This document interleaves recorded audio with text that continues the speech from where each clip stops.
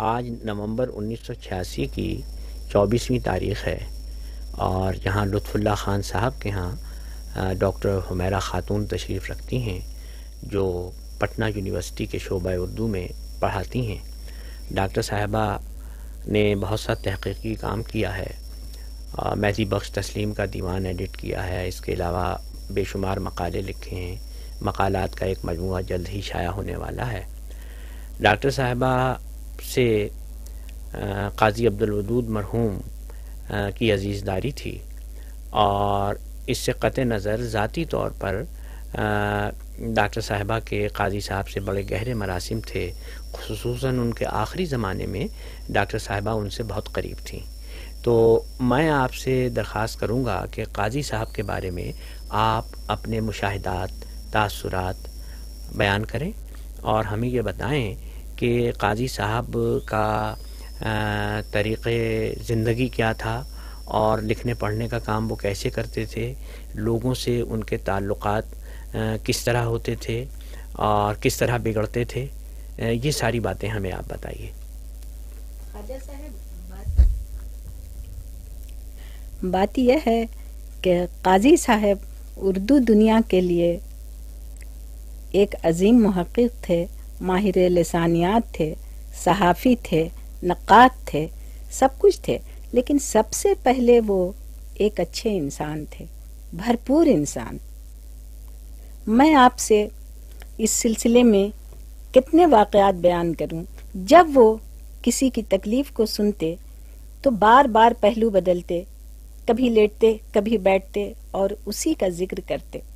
जहाँ तक मुमकिन होता, उसकी मदद करने की कोशिश करते बांग्लादेश में जो वाक़यात हुए तो उन्होंने लोगों को मना कर दिया कि मेरे सामने यह दुख दर्द भरे हुए वाक़यात ना दोहराए जाएँ।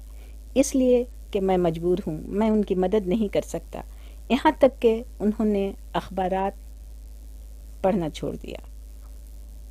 एक शख्स आए, उन्होंने अपनी लड़की के बारे में बताया कि देखिए शादी हुई उसकी।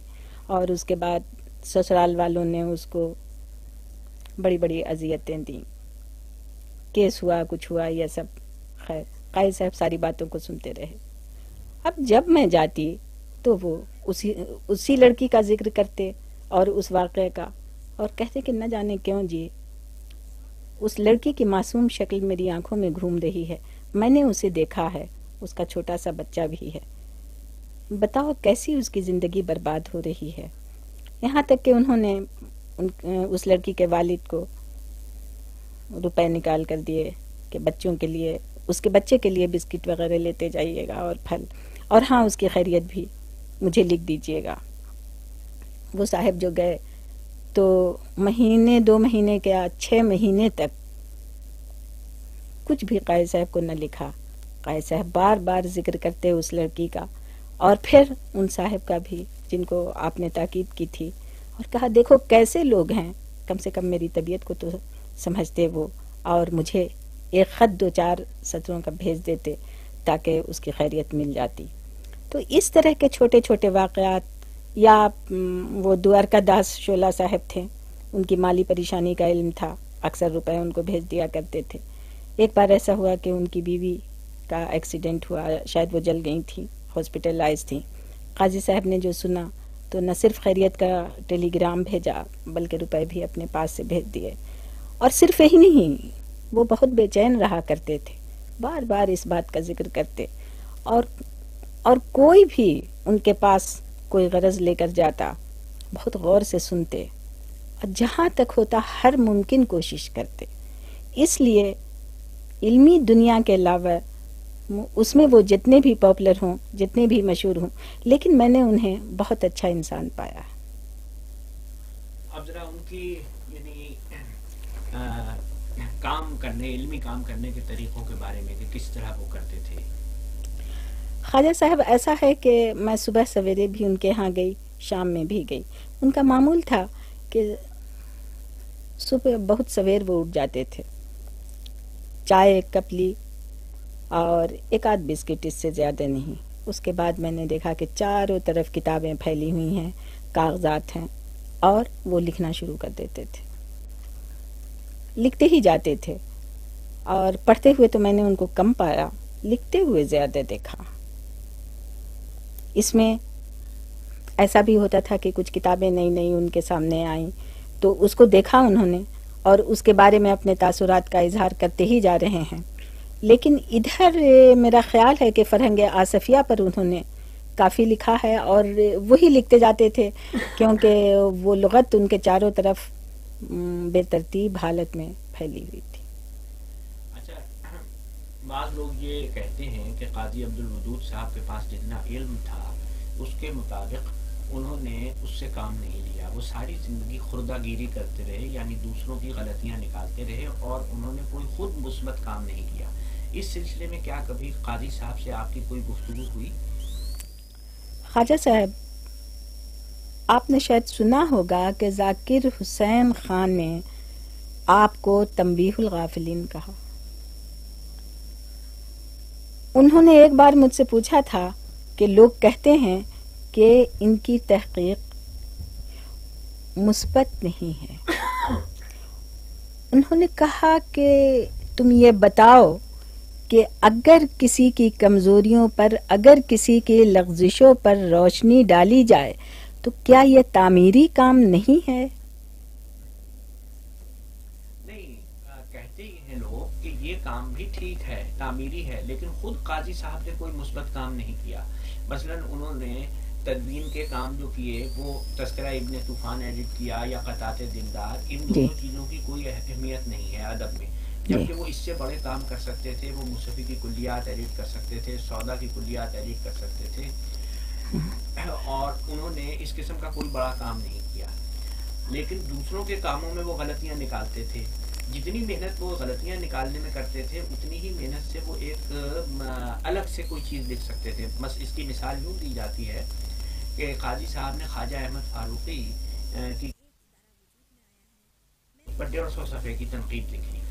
अगर काजी साहब इस तनकीद की बजाय खुद मीर तकी मीर पर एक किताब लिख डालते तो वो कहीं ज़्यादा बेहतर होती वो मुस्तनद मानी जाती और उससे लोग इस्तेफादा करते। अब काजी साहब ने जो कुछ लिखा है ख्वाजा अहमद फारूकी के ताल्लुक से वहाँ यानी लोगों के लिए इस्तेफादा उसी सूरत में मुमकिन है जब वो ख्वाजा अहमद फारूकी की किताब पढ़ें। तो ये पहलू जो है हम्म। काजी साहब का कि उन्होंने मनफी काम किए मुस्बत काम नहीं किए। तो इस सिलसिले में आपकी अपनी राय क्या है? चलिए। हाँ, ख्वाजा साहब मेरा ख्याल है कि काजी साहब का एक एक मकाला एक किताब की हैसियत रखता है। जैसे कि गालिब बहसीत महक़ उसको वो खुद कहते थे मैंने एक बार पूछा था कि चचा इतने मजामी आपने लिखे उसमें शाहकार कौन से हैं? आपकी नज़र में। तो उन्होंने कहा कि गालिब बहसीत महक़ तो मीर पर भी वो ख्वाजा अहमद फारूकी ने मीर तकी मीर हयात और शायरी जो लिखी उस पर काजी साहब का जो तबसरा है आप उसे पढ़ें तो उसमें आपको एक ख़जाना मिल जाएगा मीर के मुतालिक मालूम का। तो क्या ये काम जो है उनका तबसरे का काम क्या ये अहमियत नहीं रखता है? तबसरे के सिलसिले में एक एक मकाला उनका जो है वो एक किताब की हैसियत रखता है। और मालूम का ख़जाना है वो। और जहाँ तक मुसफ़ी के बारे में आपने बातें की तो मैंने देखा है मुसफ़ी का इतना ज़बरदस्त इंतखब इन्होंने उनके गज़लों का किया है। और वो न जाने कई सौ पेजेस में, एक बात थी काजी साहब की कि एक काम करते थे जैसे तो उसको पाया तकमील तक पहुँचा देते नहीं, फिर बीच से दूसरा काम शुरू कर देते थे। तो ऐसे ही हुआ। मुसहफ़ी के सिलसिले में खुद काजी साहब के हाथ हाथों हाथ की लिखी हुई गज़लें। और वो सब मैंने तरतीब दी और इतनी खूबसूरत तहरीर उसकी है इतना अच्छा इंतखब, जिसके बारे में कलीमुद्दीन अहमद ने कहा था कि यह जो है एक कीमती चीज़ है और इसको ज़रा हिफाजत से रखना। लेकिन अफसोस यह है कि इस तरह की चीज़ें, जैसे कि सोस की गज़लें और सौदा की गज़लें और मुसहफ़ी की गज़लें इनका इंतखब काजी साहब ने बहुत अच्छा किया था लेकिन अफसोस कि उनका काम पाया तकमील तक न पहुँच सका और वो चीज़ें गायब हो गई। अच्छा अब जो काजी साहब के कागजात हैं उनमें क्या क्या है? ज़रा ये बताइए। काजी साहब के कागजात जो हैं उनमें ये सारी चीज़ें हैं जितने मजामी वो लिख चुके हैं वो रफ मौजूद हैं। उनमें बहुत सारे कीड़े भी खा गए, बर्बाद भी हुए, लेकिन वो मौजूद हैं। जैसे गालिब के सिलसिले में हों, मीर के सिलसिले में हों, सौदा के सिलसिले में हों, जितने भी मजामी लिखे हैं तो वो सारी चीज़ें, यानी तस्करें हैं, अशार हैं और वो तनकीद जो आपने की है वो है तहकीकी मजामी हैं उनके वो रफ जो हैं वो तहरीर शुदा कागजाती या सारे के सारे मौजूद हैं। उसके अलावा तकरीबन पचास सालों से आपने मशाहिर के खतूत जमा करने शुरू किए थे और वो खतूत जो हैं बहुत सारे गायब भी हो गए हैं लेकिन हैं। वो तमाम खत खुद काजी साहब के नाम है? जी हाँ वो सारे खतूत काजी साहब के नाम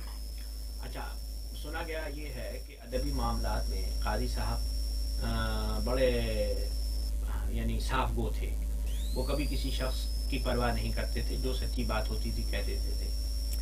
और इसके साथ ही ये भी सुनने में आया है, जैसा कि डॉक्टर आबिद पिशावरी ने अपने एक मजमून में लिखा है कि जब वो, उन्होंने इंशा पर तहकीक का आगाज़ किया तो वो काजी साहब से मिलने के लिए गए तो काजी साहब बड़ी बेरुखी से पेश आए और कहने लगे कि तुम भला क्या तहकीक करोगे? आ, तो उन्होंने ये सारे वाक़ात एक मजमून की सूरत में लिख दिए थे। तो क्या काजी साहब इस तरह भी पेश आते थे लोगों से? ख्वाजा साहब मुझे यकीन नहीं आता। इसलिए कि आबिद साहब ने जो मजमून लिखा तो उनके ख्यालात की तरदीद में गोपाल मित्तल साहब ने लिखा उसको शायद आपकी नज़र से न गुजरा हो तो मैं भेज दूँगी। और जहाँ तक इसका सवाल है साफ़ गोई का, उनके तो सुनिए, एक के प्रोफेसर वहीं के बिहार के, और उन्होंने किताबें लिखी। तो आप उनको, आपने उनको अजहल कहा। लोगों ने जाके ये खबर पहुँचा दी कि काजी साहब आपको अजहल कहते हैं। वो गुस्से में भी नाए हुए काजी साहब के पास पहुँचे और कहा कि सुना है आपने मुझे अजहल कहा है? काजी साहब ने बिला किसी झिझक झिझक के कहा कि मैंने कहा तो ज़रूर है लेकिन किसके सामने कहा यह याद नहीं। अब आप सोचिए। तो वो साहब कौन थे? प्रोफेसर थे वहीं। मतलब वो हसनैन साहब। हसनैन साहब हसनैन साहब के खिलाफ तो जी हाँ, हाँ। तो हम्म। लेकिन ये कि वो अदबी मामलात में अमूमन लोगों से बिगड़ जाते थे। वो कहते थे ख्वाजा साहब कि तहकीक में ख्याल खातिर अहबाब रखना यह बहुत गलत है। और इस सूरत में कोई महक्क नहीं हो सकता।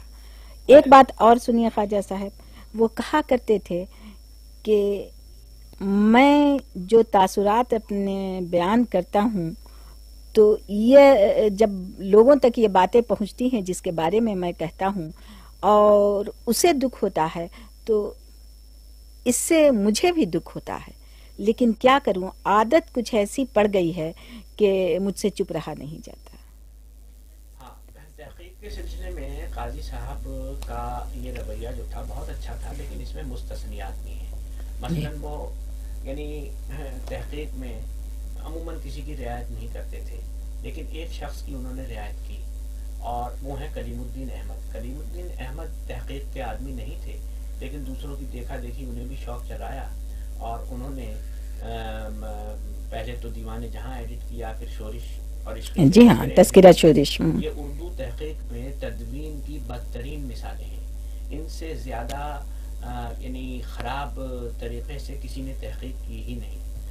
काजी साहब उसी शहर में मौजूद थे। उनका ये फ़र्ज़ था कि उनको टोकते उन्हें मना करते कि आप ये काम ना कीजिए। लेकिन चूँकि ज़ाती मरासिम थे, इसलिए काजी साहब ने उसे नज़रअंदाज किया। ख्वाजा साहब, इस सिलसिले में मैं आपको ये बता देना चाहती हूँ कि काजी साहब ने एक बार नहीं, न जाने कितनी बार अपने तासुरात कलीम साहब के सिलसिले में बयान किए हैं कि वो तहकीक के आदमी नहीं, तनकीद के हैं। और एक आदमी को हर मैदान में नहीं आना चाहिए। यहाँ तक के कलीम साहब को बहुत नागवार गुजरा है। जब कई एक आदमी से ये ऐसी बात थी कि काजी साहब जब बोलना शुरू करते थे तो उनको तो किसी का ख्याल रहता नहीं था हर के सामने ये बात बोलते जा रहे थे। तो कलीम साहब को तो बहुत नागवार भी गुजरा है लेकिन काजी साहब बराबर अपने तासुरात बयान करते थे कि कलीम साहब को तहकीक की दुनिया में नहीं आना चाहिए। अच्छा ये बताइए कि काजी साहब के हल्का अहबाब में कौन कौन लोग शामिल थे? पटने में। पूरे हिंदुस्तान में तो आपने तो तो मुआसर काजी अब्दुल वदूद नंबर देखा ही है, खुद उन्हें भी इसका एतराफ़ है। तो गुर्बत जो थी फ़खरुद्दीन साहब से और नूरुद्दीन साहब से, ये दोनों से तो बहुत ज़्यादा थी। हाँ सदर हिंदुस्तान फ़खरुद्दीन अली अहमद साहब उनसे बहुत करीब थे, उनकी फैमिली से बहुत करीब थे, और बराबर ज़िक्र भी करते थे बड़ी मोहब्बत से। और दूसरे नूरुद्दीन साहब से बैरिस्टर नूरुद्दीन जो कि दिल्ली में थे। हाँ। जी हाँ जी हाँ कैम्ब्रिज के दोस्त थे ये सब। तो फ़खरुद्दीन अली अहमद साहब सदर हिंदुस्तान और बैरिस्टर नूरुद्दीन साहब जब भी जाते थे तो कभी नूरुद्दीन साहब के यहाँ ठहरते थे आपका क़्याम रहता था और कभी फ़खरुद्दीन अली अहमद साहब के यहाँ। तो वो ऐसा था कि पहले तो तुम तम की बात थी और जब उन लोग पटने आते थे तो इन लोग जब एक जगह रहते थे तो और लोग जो पटने के ए, मिसाल के तौर पर डॉक्टर मुमताज़ अहमद या डॉक्टर हसनैन साहब या डॉक्टर मुहसिन साहब या सारे लोग गोया शर्माते थे वहाँ पर बैठने से कभी कभी ऐसी बेतकल्लुफी इन लोगों में होती थी। अच्छा तो ये बताइए कि पटने के लोगों में सबसे ज़्यादा करीब कौन लोग थे? पटने के लोगों में काजी साहब अस्करी साहब की बड़ी इज़्ज़त करते थे और बराबर वो आया करते थे जो कि हिस्ट्री तारीख के प्रोफेसर। जी हाँ और और लोग तो गोया आप उनसे उम्र में काफ़ी कम जैसे कि डॉक्टर जकीउल हक साहब थे या डॉक्टर मुमताज़ अहमद साहब थे या या और भी लोग डॉक्टर मोहसिन साहब थे। तो अता काकवी साहब और और कलीमुद्दीन साहब ये सब भी तो करीब थे और काफ़ी जब भी आप दावतें करते थे तो इन लोगों को ज़रूर बुलाते थे और काफ़ी देर तक तबादला ख्याल होता था। और अता काकवी साहब से तो रिश्ता भी करीब था काजी साहब का। अच्छा, तो काजी बराबर जब कोई बाहर से कोई भी मेहमान आता तो शहर के लोगों को जो उसी तरह के लोग उसी सर्किल के लोग होते आप बुला लेते थे। अगर सियासी शख्सियत कोई आए तो उसी किस्म के लोग आते। और लिटरेरी फ़ील्ड के अदबी मैदान के लोग होते तो वैसे ही शहर के लोगों को आप बुला लेते थे। एक छः सात आदमी या दस आदमी तक। अदबी लोगों को उन्होंने अपनी दावत दी उसमें वही अस्करी साहब रहते थे डॉक्टर मोहसिन साहब और ये डॉक्टर जकीउल हक साहब डॉक्टर मुमताज़ साहब या डॉक्टर मजीद साहब इस किस्म के और और कलीमुद्दीन अहमद साहब को ज़रूर रखते थे। वो नहीं जो बाहर से आते थे हाँ। वो उनके कुछ नाम बताइए जिनकी दावत इन्होंने की जी मैं बताती हूँ। मिसाल के तौर पर डॉक्टर मसूद हुसैन खां। वो आए, या डॉक्टर ज्ञान चंद आए डॉक्टर गोपी चंद नारंग आए, या आपके डॉक्टर तनवीर अलवी आए, इस तरह के लोग बराबर ही आया करते थे। और डॉक्टर ख्वाजा अहमद फारूकी जो भी आए तो यह कि दावतों में कोई कसर नहीं अखलाक में कोई कसर नहीं काजी साहब करते थे। हाँ जहाँ पर वो तहकीकी बात सामने आती तहकीकी निकात आते मैं आपसे इतफाक नहीं करता हूँ। काजी साहब पुरजोर अल्फाज में कहते इसको। अच्छा अब ये एक बात ये बताइए कि काजी साहब ने ज़िंदगी भर इतना कुछ लिखा। जी।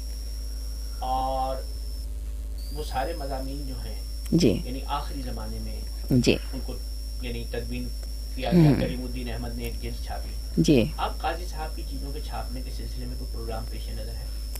देखिए उनके मंतखब मजामी जो हैं उसमें बारह जिल्दों में उनके मकालत को लाने का इरादा किया गया था और ये सारी बातें हो चुकी थी तयशुदा थी। लेकिन अकेडमी का काम तशफ़ी बख्श नहीं जा रहा है। और अभी काजी साहब के मकालात जो हैं वो जल्द से जल्द मंजर आम पर आ जाएँ ऐसी कोई उम्मीद नहीं। अच्छा है जहाँ तक काजी साहब की घरेलू ज़िंदगी का सवाल है मैंने पहले आपसे कहा कि वो एक अच्छे इंसान थे तो मैंने उन्हें बहुत अच्छा शौहर और बहुत अच्छा बाप भी पाया। मिसाल के तौर पर आपकी अहलिया मोहतरमा जो थी, उनसे आपसे बहुत सारी चीज़ों में मुनासबत नहीं थी। मिसाल के तौर पर वो मजहबी थी, नमाज़ पढ़ती थी, रोज़े रखती थी, मिलाद अपने घर में करती थी। काजी साहब को इन चीज़ों से दिलचस्पी नहीं थी। लेकिन तो अपने आप को कहते थे कि मैं मुसलमान ही नहीं मेरा कोई मज़हब ही नहीं लेकिन आखिर वक्त में वो कहने लगे थे कि ऐसी बात नहीं है जी कि मैं खुदा का मुनकिर हूँ। मैं खुदा को मानता हूँ, लेकिन मुझे ताज्जुब होता है कि खुदा मासूमों पर जुल्म क्यों करता है? वो बांग्लादेश के वाक़ात या इसी तरह के और वाक़ात हुए। तो मुझे ताज्जुब होता है इन बातों पर। मुझे हैरत होती है कि आखिर खुदा है तो इस तरह के बेकसूर लोगों पर क्यों जुल्म हो रहा है और यह है वो। तो इस तरह की बातें वो किया करते थे लेकिन ये वो साफ़ बोले यहाँ तक के हॉस्पिटल में जो गए और वहीं उनकी मौत हुई तो वहाँ भी दो दिनों पहले मैं गई तो कुछ बातें हो रही थी उसमें नहीं जी ऐसी बात नहीं है कि मैं खुदा का मुनकिर हूँ मुझे ताज्जुब ज़रूर है। अच्छा इनके बच्चे कितने हैं? काजी साहब की सिर्फ़ एक औलाद हुई और वो काजी हाँ मसूद। तो काजी साहब के बारे में मैं ये कह रही थी कि जब उनकी बीवी बीमार होती तो उन्हें नावल पढ़ने का बड़ा शौक, इनकी बीवी को, काजी साहब की। तो आप जो हैं, बैठ करके उन्हें उर्दू नावल सुनाया करते थे। जबकि उस किस्म के नावल से काजी साहब को कोई दिलचस्पी नहीं। लेकिन बीवी के खातिर वो ऐसा करते थे, उन्हें थर्मामीटर लगाते, उन्हें दवाएँ खिलाते, उनके पास दो दो घंटे बैठते। यानी, वो कहते थे कि देखती हो, तुम्हारी चची एक टेलीफोन नहीं कर सकती हैं, न सुन सकती हैं और ना कोई बातों को मुझसे कह सकती हैं। लेकिन फिर भी मैं जानता हूँ कि वो मेरा ख्याल रखती हैं और मुझसे उनको मोहब्बत है। मैं इसकी कदर करता हूँ। और जहाँ तक एक अच्छे बाप का सवाल है, वो भी जहाँ मसूद साहब देर से आए, हमारे पास ख़त पहुँच गया हूँ मेरा अभी तक के नहीं आए हैं मसूद, मेरी तबीयत बहुत घबरा रही है। तुम या तो आ जाओ या उन जगहों पर फ़ोन कर दो, चूँकि बेचारे खुद नहीं कर सकते थे, उस वक्त बीमार रहा करते थे। तो मैं कभी कभी चली जाती थी, चचा, घबराइए नहीं, कुछ देर में चले आएँगे, ऐसी कोई बात नहीं है, या तबीयत ख़राब हुई तो कमज़ोर होने के बावजूद मसूद साहब के कमरे में जाने की कोशिश करते, उनकी खैरियत पूछते, बातें करते, डॉक्टर के बारे में राय देते, ये सारी बात थी। हाँ एक बात उनमें मैंने देखी कि वो राय पेश करने में बहुत समझिए कि आगे थे जैसे, बहुत जल्दी अपना मशवरा दिया करते थे और चाहते थे कि संजीदगी से कोई सुने और इस पर अमल करे तो जनाब काजी साहब के बारे में तो आपने इतनी बहुत सी बातें बता दी। और अब आप थोड़ा सा ये बताइए कि काजी साहब के बाद अब पटने में कौन कौन लोग हैं? या है। जी। काजी साहब के बाद अब पटने में बुज़ुर्ग हस्ती में अताउर रहमान साहब हैं सैयद हसन साहब हैं हसन अस्करी साहब हैं ये तो ज़रूर हैं। और इसके अलावा जो हैं वो तो आप जानते ही हैं लेकिन बुज़ुर्ग हस्तियाँ आई ही हैं और अगर कोई मुश्किल पेश आती है हम लोगों को तो इन्हीं लोगों के यहाँ जाया करते बहुत बहुत साहब आपने भी मौका दिया और इस नवाजिश का एक बार फिर शुक्रिया। मौका तो हमारे हाँ लुत्फुल्ला खान साहब का भी शुक्रिया। आप आपकी बदौलत मैं हाँ तक पहुँच सकी। जी हाँ इनका ज़िक्र खैर तो मैं सुन चुकी हूँ पढ़ चुकी हूँ। और यहाँ जो लोग आए हैं सबसे बढ़कर पढ़ने से मालूम काफ़ी हासिल हुई। आपने क्या चीज़ पढ़ी इनके बारे में? इनके बारे में मुख्तलिफ़ लोग जो जाते रहे और कुछ कुछ लिखते रहे जिसमें डॉक्टर मोहम्मद हसन साहब का मुझे याद है अच्छी तरह कि उन्होंने काफ़ी अच्छी तरह से रोशनी डाली थी। हाँ सफ़रनामे में ज़िक्र किया था। बहुत बहुत शुक्रिया।